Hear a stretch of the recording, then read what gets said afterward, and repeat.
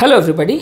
I'm Dr. Navin Agrawal and I am an interventional cardiologist practicing at Valsad and Vapi district in Gujarat in India. Today we'll be taking up a very interesting and a clinically useful topic. We will be talking whether uh, travel is advisable or whether it is feasible for the cardiac patients and when exactly after a heart attack can the patients be allowed uh, to travel and what exactly should be the travel restrictions which should be given to the patient whenever the patient is planning a travel. Uh, one more important issue is whether the uh, patients with very severe LV dysfunction or very severe heart failure, whether these sort of patients can also be permitted to travel uh, by various means. What means of travel is advisable for these patients, this also we'd be discussing.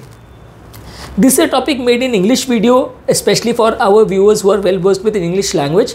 जो लोग इस topic को हिंदी भाषा में देखना चाहते हैं, उनके लिए ये टॉपिक हिंदी में अवेलेबल है हमारे चैनल पर। नीचे लिंक मैं डिस्क्रिप्शन बॉक्स में छोड़ दूँगा, आप चाहे तो उसको हिंदी भाषा में देख सकते हैं। Now coming back to our topic now will be talking whether the heart patients can be permitted to travel or not uh, suppose a patient has a heart attack and has a significant heart failure and LV dysfunction. Usually, after heart attack, we can permit the patient to travel maybe after 10 to 15 days, but a few precautions need to be kept in mind a lot of our patients are whether uh, worried whether while traveling because India is a country where roads may or may not be that good. So a lot of potholes might also be present on the road. A lot of patients are worried whether they can be permitted to travel on the potholes and all, and whether that will affect the position of the stent. Whether uh, if they get a, a, sudden bounce on the road or sudden hiccup on the road, uh, whether that will affect the position and the functioning of the stent. But I should assure you that that is not the case. If at all the patient is having a stent deployed, usually the position of the stent cannot be moved uh,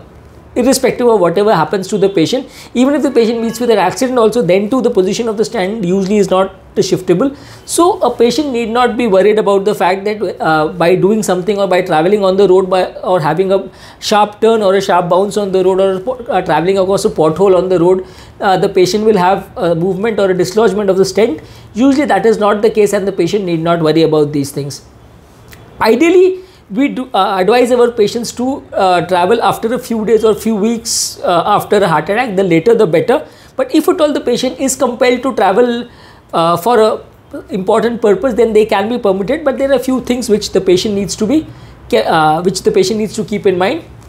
the patients with very weak heart and the patient who have a overt heart failure, ongoing chest pain, very bad condition and the patients who are electrically unstable and are very likely to collapse on the way. These are the patients who ideally we should advise not to travel and uh, because usually when they are on a travel they might be staying away from the healthcare facilities. And if at all some uh, sudden problem does occur which is very likely to occur in such unstable patients these patients can suddenly deteriorate and it might be difficult to reach these patients to the hospital.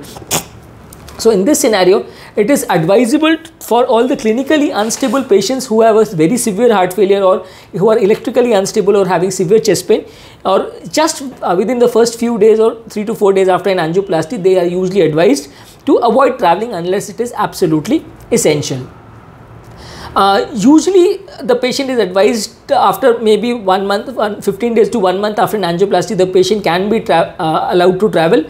uh, if the patient travels by an air medium, usually that doesn't affect the functioning of the stent and the change of cabin pressure or the oxygen levels at high altitudes usually in a flight scenario doesn't affect the uh, patient. And so uh, usually the patient can be permitted to travel by a flight the reason being is uh, that a lot of healthcare facilities are available for emergency purposes at the airport. And a lot of times if at all some emergency does occur on the flight also these people do have at least a defibrillator device and a few basic medical kit is available equipment is available to them. It is always advisable to inform the airplane staff and the stewardess and the stewards that you have a healthcare issue and uh, you have a cardiac problem with a recent stent deployment or a recent heart attack. And you might be having a cardiac issue during the course of the problem so that they can be uh, mentally prepared and they can keep their every, uh, equipment ready for use in case of an emergency. For the people who want to travel by train, usually that is less advisable because the train travel, if at all it is a very long duration travel, ours is a country which is very big and people can travel in train for maybe 48 hours also across uh, one part of the country to the other. If at all they are traveling by train it becomes a big issue because uh, you cannot stop the train according to your whims and fancies. And if at all you do develop some severe problem or a severe chest pain while you are traveling on a train then it becomes a problem and uh, by the time the train stops and the train reaches the next station and you are shifted to a, a hospital for an emergency management that time it could be very late. So train travel i think is less advisable for such patients where a recent heart attack or uh, health problem or cardiac problem has occurred. Although train usually is very comfortable and usually you get uh, a lot of leg room and you can uh, lie around also and you can sleep also in your train. So usually train travel is considered very comfortable for these patients but only the big issue is whether you uh, the healthcare facility is easily or rapidly available for these patients or not. That might become a bigger issue while traveling on the road usually that is not an issue because road travel you uh, usually know where which part of the country you are and which is the closest healthcare facility which is available. Always keep in mind that whenever you are uh, traveling by road and uh, you are traveling for a significant distance you should keep in mind which uh, would be the nearest uh, big hospital where cardiac and healthcare related facilities are available in case of any emergency. Road travel is slightly convenient in regards that the uh, steering is in your hands and you can control uh, which way and which uh, area you want to travel and you can easily access an hospital in case of any emergency before the symptoms start to get worsen. Unlike this, the uh, control is not in your hands while you are traveling in a flight or a train. So, in road travel, this is an advantage, but the significant disadvantage is that road travel is slightly more cumbersome, more hectic. You get a lot of jerks and all. Travel is much longer, and usually it is much more uncomfortable as compared to a train or a aeroplane travel. Uh, one more thing is that if you are traveling by road you should carry all your medicines and as far as possible a cardiac patient should not be permitted to drive. The reason being that even if it doesn't have a heart attack there are high chances that the patient may develop some amount of giddiness or uh, might suddenly fall unconscious. In that case if the patient is driving the vehicle suddenly the vehicle might meet with an accident which might be dangerous for the patient as well as for the relatives. So if at all you have a heart patient who has had a recent cardiac condition or recent cardiac problem, it is always advisable that the patient does not drive. He can uh, lie down comfortably on the back seat and can travel. Ambulance travel is usually required only for the patients who are very unstable and they are being shifted from one hospital to the other. If at all uh, once you are discharged and you are comparatively stable then of course uh, if even if uh, the patient needs to be carried from the hospital to the home usually an ambulance is not required unless the patient is taking a discharge against medical advice and is electrically unstable. Usually in such unstable conditions or in a patient having a severe heart failure or a significant cardiac worsen situation usually the discharge is delayed by a significant extent and once the patient is stable then only they discharge. So as far as possible ambulance travel is usually not uh, required in most of the cases. You the patient can travel by a by their own vehicle as long as they themselves are not driving the vehicle.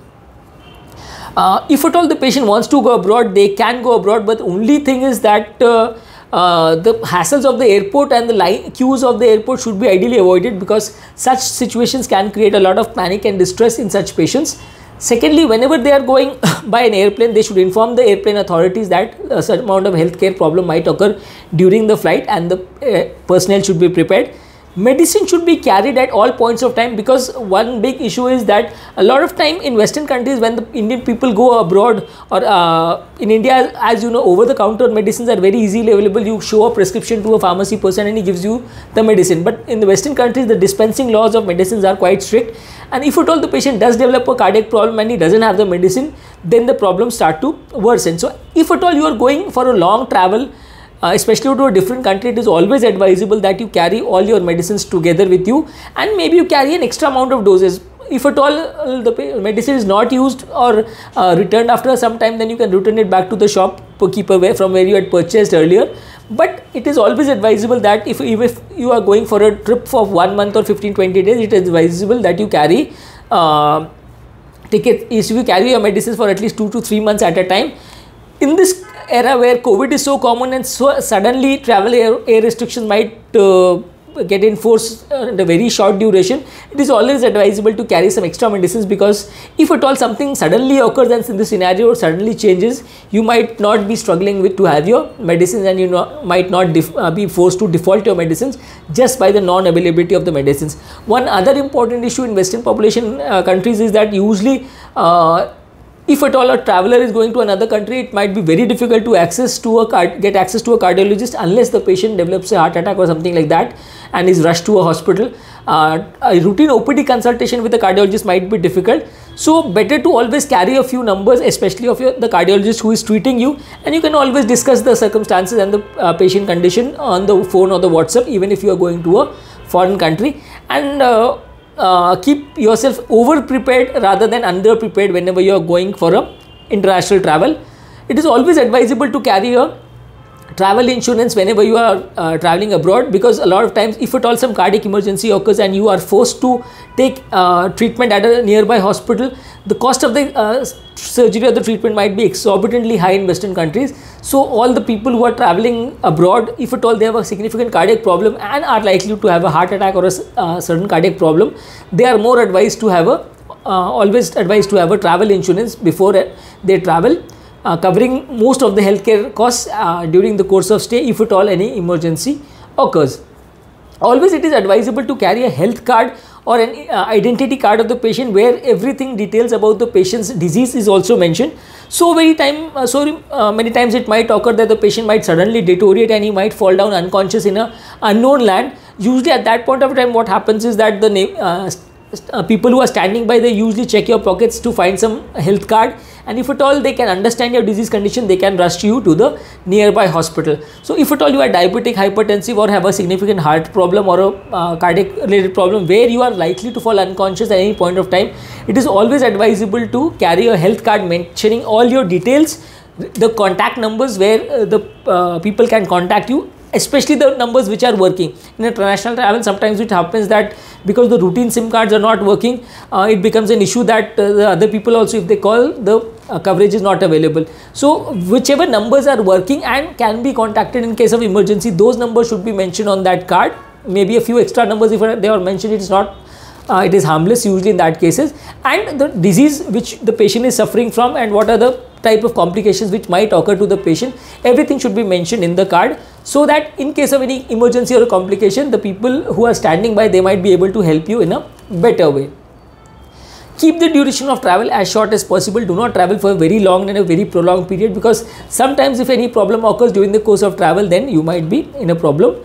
uh, if at all you have a history of leg clotting or a deep venous thrombosis, it, it is advisable not to be sitting there in the same chair or sitting position for a prolonged period because these patients are very likely to develop clots in the legs which might lead to sudden slipping of the clot into the uh, vessel supplying the lungs and that might occlude the pulmonary vasculature and the patient might die of embolism. So, if at all you have a tendency of clotting, it is always advisable to at least stretch out your legs if at all you are traveling for a prolonged period and a prolonged distance uh, so that the clot in the leg doesn't develop. For the patients who are having a recently implanted pacemaker, it is always advisable to carry a card mentioning that you have a pacemaker implanted so that in airport when the people are frisking you for uh, security reasons with a metal detector, you might show them the card because these metal detectors can sometimes affect the functioning of the pacemaker conduction. And if at all the patient is not careful then and the patient uh, is frisked with the metal detector the patient might suddenly drop down unconscious if the patient stops working. In such patients usually the security personnel do, do only a hand check and usually they avoid the use of metal detectors. Hand checking of these patients for security reasons is not harmful but metal detector usage is slightly dangerous for such patients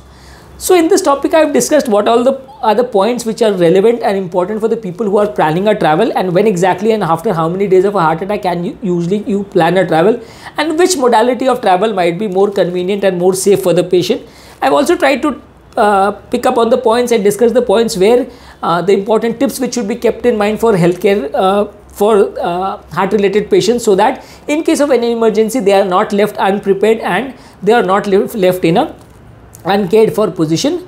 I hope that this uh, topic was clinically relevant and useful for you. The purpose of my channel is that I am trying to uh, discuss with you uh, the common people the relevant points and heart and healthcare related important points are uh, of various uh, regards and various topics are there in my uh, channel. For the patients who usually uh, do not have very easy uh, access to healthcare, these points I feel are clinically relevant and useful and they may uh, might enable you to manage your disease better and you discuss your disease better with your doctors. Usually for such sort of information we tend to depend on our uh, doctors and our friends and relatives and on Google to give us all the information but doctors due to time constraint may or may not be able to give you all the information friends or relatives and google might be giving you some half information which might be sometimes even detrimental for the patient if they follow this sort of information. If you like the concept of my channel please like my channel subscribe to my channel. And if at all you feel that the concept of my channel is interesting you can share the link of the topics with your friends and relatives who for you whom you feel that the content might be relevant. If at all you find that there are some topics on which we should discuss related to heart and healthcare, then you can mention about those topics in the description box below so that we can cover those topics in the future videos. So this is Dr. Navin Agrawal and I am signing off and I thank you all for a very patient listening and I hope that the topic was really relevant and useful for you and I hope to see you back in my next video. Please like and subscribe to my channel for more healthcare related and useful and scientifically correct information. Thank you.